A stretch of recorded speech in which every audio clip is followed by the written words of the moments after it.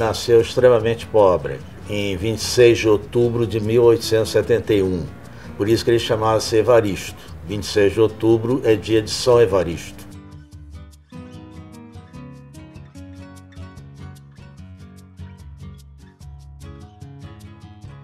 Aprendeu a, a ler, por exemplo, com a mãe dele, Elisa, nos evangelhos. Ela criou meu avô. E meu avô, ele não era espírita, não tinha nenhum espiritismo. Mas teve um dia que ele estava preso, ele foi preso várias vezes por causa de movimento político, né? Ele viu minha avó, que morreu em 1921. Ele viu minha avó e se emociona, etc. E ele contava isso mesmo.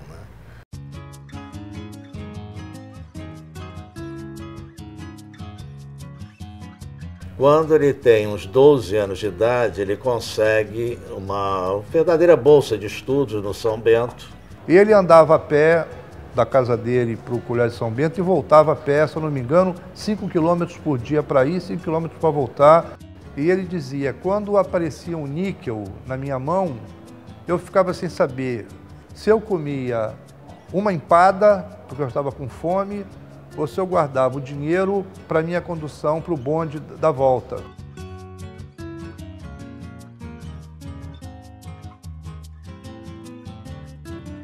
Ele tinha uma cultura fora do comum, né? sempre lendo muito, tanto que ele, quando jovem, já era professor de história, de filosofia. Talvez aí que ele tenha essa sensibilidade de, um, de uma proteção do, do operariado. Ele, com 17 anos, era professor no São Bento e sempre envolvido nas questões sociais. E esse país é extremamente elitista, imagino que era, em 1888, uma pessoa que era mulato entrando na, nas questões sociais. Ele começa na campanha abolicionista ainda garoto, 17 anos. Ele é um garoto de 17 anos que se engaja na luta pela libertação dos escravos, começa a ter contato com as elites culturais da cidade na época. E naquela época o jornal, a imprensa era política, não, não tinha o, o jornalista, ele não tinha outra visão da política que não for, da imprensa que não fosse política.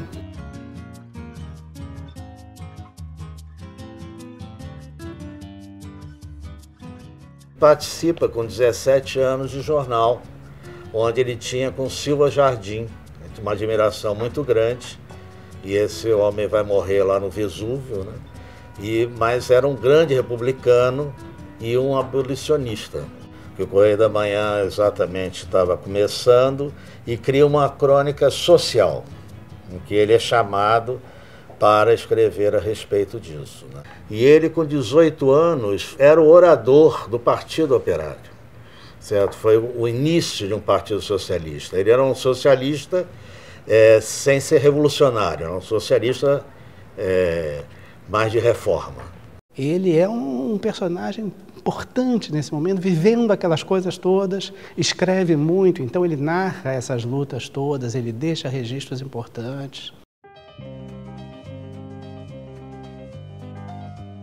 Começa a sua vida como advogado, na realidade, como rábula. Ele vai se formar com 45 anos de idade em 1916. Não havia naquela época necessidade de, de se formar para advogar. Ele começa a frequentar o foro e a partir dali se apaixona pela área criminal. Naquela época não havia uma especialidade, quer dizer, era advogava, mas ele se inclinou pelo tribunal do júri, onde é um, há um, realmente um encantamento e se dedicou àquilo como ninguém.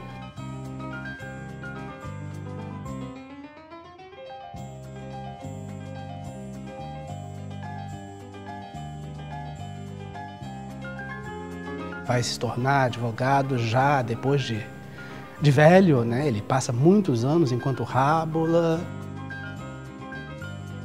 Ele trocava cartas com os grandes juristas europeus na época, ainda enquanto, enquanto Rabla, teses de perícia, teses muito modernas para o tempo dele, e a comunicação naquela época não era a nossa comunicação de hoje. Então ele se desenvolveu sozinho pelo estudo, pelo interesse e por uma coisa inata que é, que é o talento que, que, que ele tinha. Na década de 1890, ele participa de muitos casos e ele tem essa questão militante, né? ele é alguém engajado em causas, em defesa de, dos escravos, em defesa da República. Em 1897, ele tem um caso muito rumoroso, porque ele entra em defesa das prostitutas do Rio de Janeiro.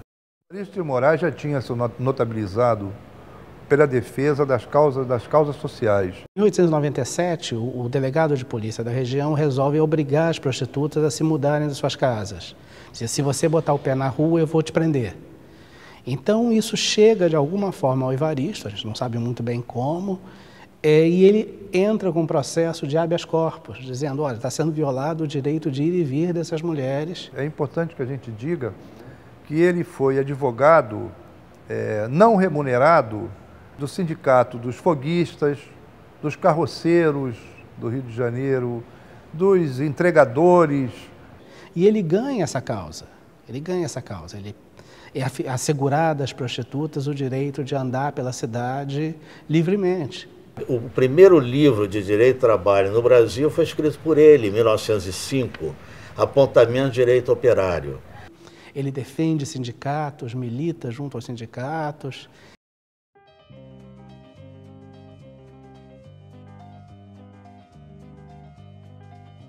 Em 1902, ele foi fundador do Partido Socialista Brasileiro. E o que tem de curioso é que o Partido Socialista Brasileiro foi caçado é, durante o período de Getúlio e foi refundado na década de 60, salvo engano. E quem o refundou? Meu pai, junto com o Evandro, quer dizer, é uma história é, é, muito ligada à causa socialista. E o Evandro o Evandro sempre foi ligado muito à nossa família, porque ele, ele tinha uma paixão alucinante para o meu avô. É, ele começou a advocacia criminal com meu avô. E todas as festas sociais, eu gostava muito do ministro, todas as festas sociais que eu estava presente, podia ter pessoas importantíssimas, ele ficava comigo. Evandro se apaixonou pela oratória, pela técnica do meu avô. Reminiscências que o ministro Evandro Lins participa, ele fala, e, e o título do artigo do ministro Evandro é justamente Evaristo de Moraes, um autodidata. A mais dolorosa de minhas recordações, quando ele é chamado pela mãe, já brigada com seu pai, a defendê-lo, Basílio de Moraes. E Basílio já tinha abandonado a mãe dele, a minha avó, a Elisa. A vovó Elisa que pediu a ele pediu a ele para defender o próprio pai. E ele diz a, a mais dura recordação que eu tenho. Defendê-lo perante o tribunal do júri, sob uma acusação infame. Hoje, imaginem aquela época. Foi acusado de abuso sexual de menores, ele tinha um asilo de meninas. Acusação de molestar dentro do educandário a crianças. E esse julgamento tal espalhafato, tal escândalo da época, ele foi transferido do tribunal do júri para o cassino da Urca. Começou a defesa dizendo que vinha aquele julgamento para cumprir um dever, um dever, um dever que sua mãe lhe impôs. O julgamento tem uma repercussão enorme. O pai dele corria a imprensa do Rio pedindo doações. Então, jornais faziam campanha em benefício do asilo de Santa Rita, para ajudar. E aí, quando aparece a acusação, é um escândalo muito grande, e os jornais, ao contrário, vão em cima do, do velho Basílio com uma ferocidade enorme. A cidade toda acompanha essa história. O julgamento foi feito no antigo Cassino Fluminense, ali no Passeio Público, porque todo mundo queria assistir. Então tinha convite para assistir o julgamento de Basílio de Moraes e o filho vai lá fazer a defesa do pai. O pai dele é considerado 10 anos, passa 10 anos preso. Ele foi cofundador da Associação Brasileira de Imprensa, isso em 1908, salvo engano. Quando começaram a aparecer as transformações industriais dos jornais, que eram dezenas de jornais diários no, no, no Rio de Janeiro, que era a capital federal e cultural do país, quer dizer. Aqui pipocavam jornais, grandes jornais e, tabloides e, e, manuscritos e jornal de, de, de tudo quanto era segmento viés da sociedade.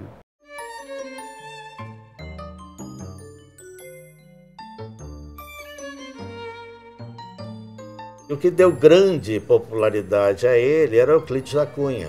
quando Euclides da Cunha era uma pessoa foi muito importante na história brasileira, mas como ser humano era uma pessoa complicada e vai tentar é, matar o amante da sua mulher, o Dilermando. Né? E somente que o Dilermando era oficial de marinha e ele saiu de Copacabana, vai lá no subúrbio carioca e erra o tiro. E o Dilermano era treinado para tiro, né?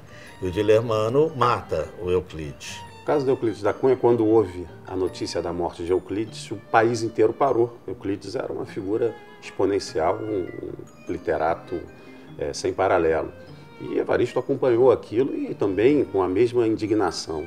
Foi procurado pela família de Dilermando, que estava preso, e inicialmente rejeitou a hipótese de, de defender alguém que matou um ícone nacional. Se inteirou do caso, verificou realmente as circunstâncias da, da fatalidade e se convenceu de que Dilermando agira em legítima defesa. Tal era a sanha da sociedade contra ele que chegou-se a noticiar que ele estuprara uma menina, e isso saiu nas primeiras capas de, de, de revistas e jornais da época. Então o ódio sobre ele é, se potencializou de tal forma que ficou difícil defendê-lo. Imagina o que, que foi meu avô defender uma pessoa que teria assassinado Euclides da Cunha. E ganha, porque foi legítima defesa. Veio a saber depois que essa menina era apaixonada por Dilermano, criou um, um, um, personagem na cabeça dela, não conhecia Dilermano, nunca sabia. E esse testemunho foi absolutamente desconstituído e a partir dali um equilíbrio parcial da, da, da, das forças para que Dilermano pudesse ter um julgamento isento. Já seria trágico se fosse só isso. Pouco depois, o filho de Euclides faz a mesma coisa com Dilermano. O Dilermano mata de novo e, obviamente, meu avô ganha de novo.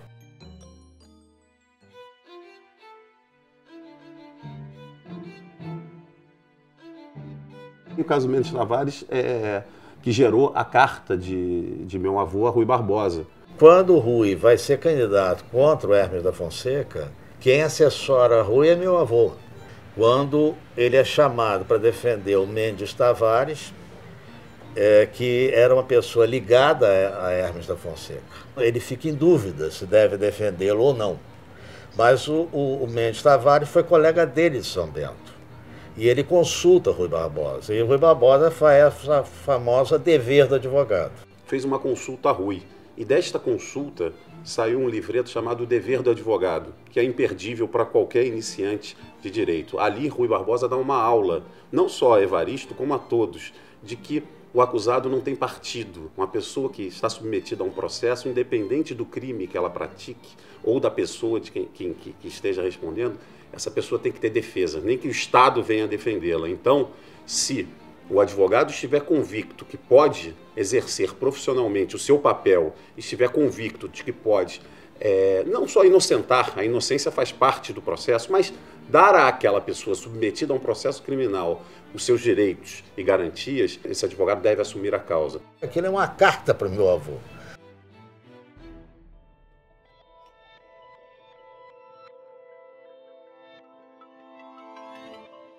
E ele nunca levou um, uma chibatada. O sofrimento dele veio depois, né? Depois de acabar a chibata que, que ele sofreu.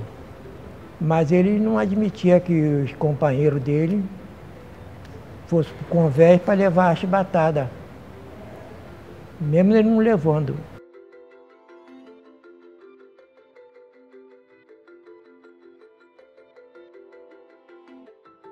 Meu pai foi o marinheiro João Cândido Felisberto, o, líder da revolta Chibata em 1910.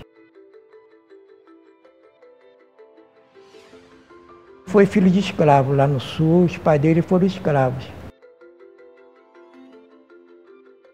Após 22 anos da, ter acabado com a escravidão e na marinha imperavam os castigos corporais na marujada para que entendamos a revolta da Chibata, é preciso que a gente retorne ao, ao, ao fim do império e, mais ainda, ao fim da escravidão.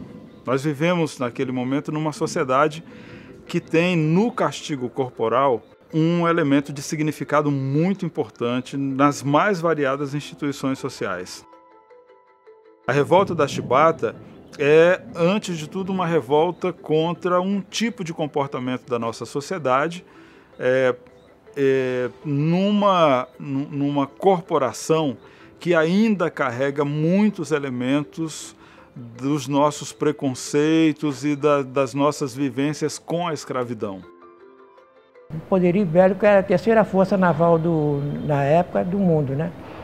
Então meu pai teve lá com os outros marinheiros lá na Inglaterra esperando o navio ficar pronto para retornar ao Brasil. Foi a Londres buscar um novo encoraçado brasileiro, Minas Gerais, na volta se rebela contra o Estado. Muitos deles têm a oportunidade de conhecer o que se passa no mundo lá fora por conta das viagens.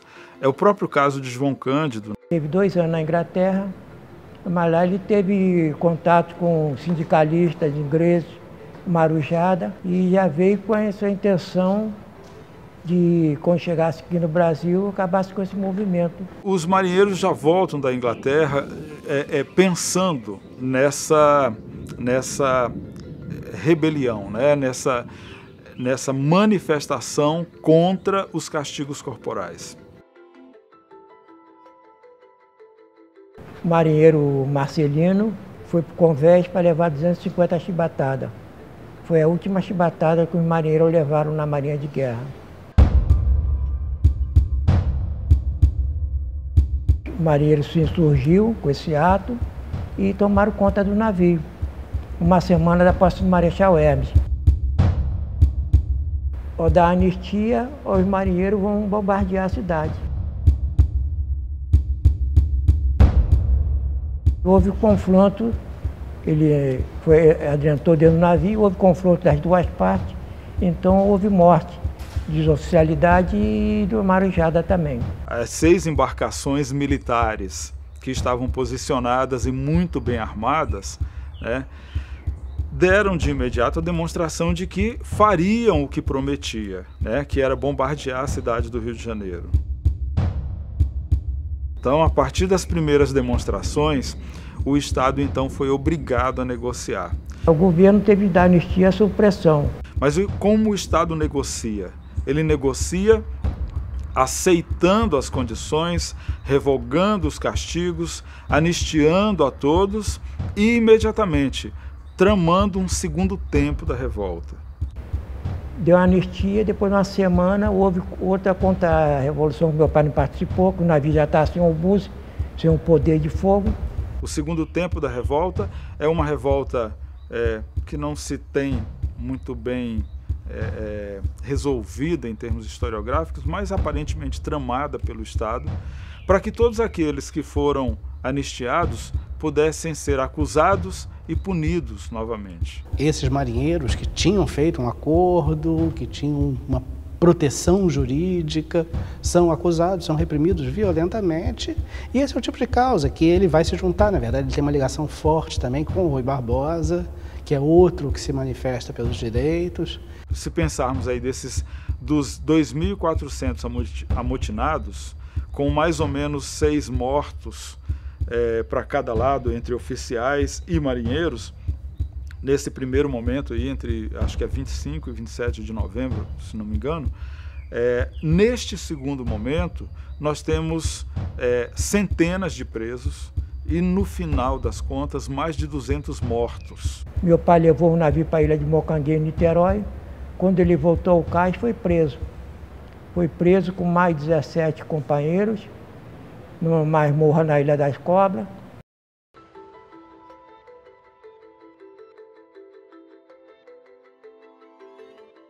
Ele é chamado para defender marinheiros revoltosos, pobres, negros, discriminados pela sociedade por uma irmandade, Nossa Senhora do Rosário, constituída por negros, que essa irmandade foi fundada pelos escravos africanos ainda, era uma, era uma irmandade centenária.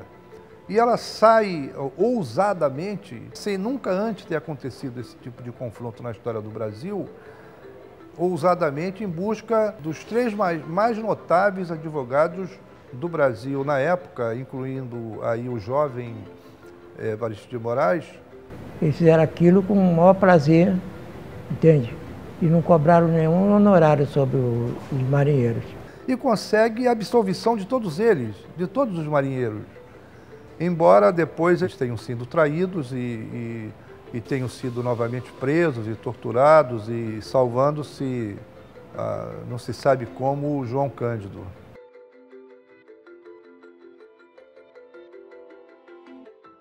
Ele decide já, depois dos 40 anos, entrar para a faculdade, tirar o diploma que ele nunca teve, nunca precisou, num certo sentido, ele era mais importante, mas ele faz questão de estar ali no meio da garotada, estudando, cumprindo os graus, vai se formar. Eu acho que isso é uma, um gesto político forte. É, ele dirige uma revista no final da década de 10 chamada Arquivo Vermelho,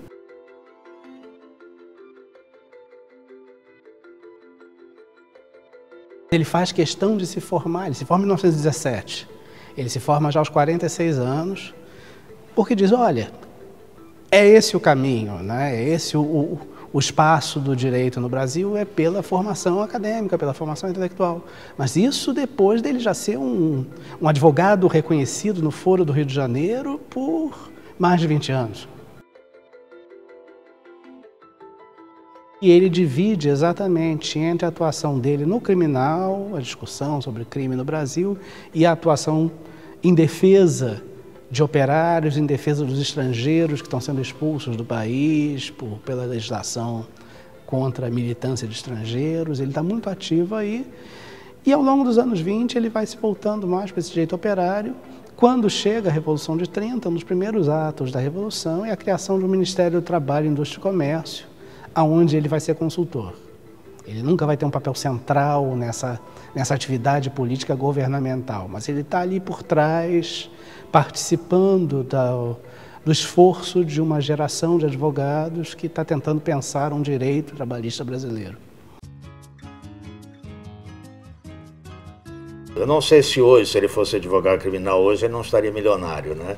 Mas naquele tempo ele não, não fez riqueza nenhuma. O seu enterro foi patrocinado pelos amigos.